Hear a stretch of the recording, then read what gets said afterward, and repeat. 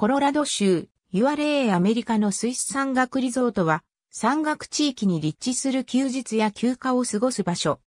スキー、スノーボード、アイスクライミング、スケートなどのウィンタースポーツや、マウンテンバイク、マウンテンボード、ハイキングなどの夏の活動を行う場所を含み、スキーの場合は、スキーリゾートとも称する。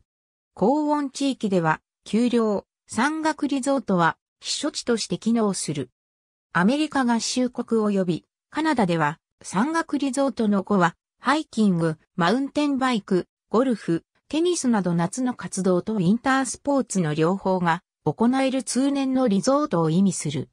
マウンテンビレッジ1933年、帝国ホテルを率いていた大倉騎士一郎は、北アルプスへの登山をきっかけに、長野県上高地の地に、上高地帝国ホテルを開業。日本の山岳リゾート地の先駆けとなった。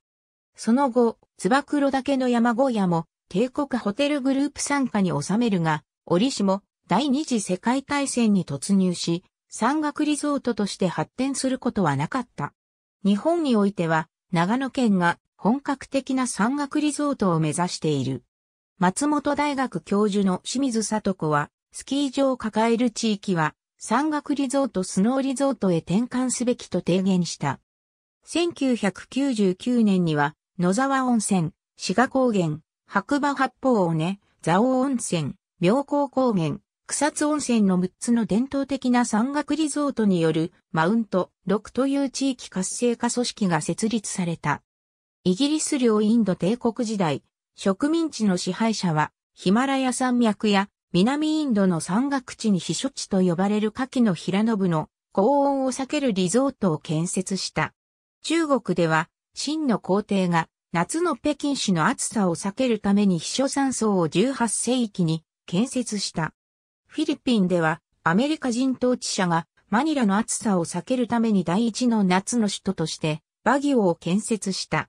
トルコでは都市住民は夏の暑さを避けるため伝統的に夏休みをヤイラと呼ばれるリゾートで過ごしてきた。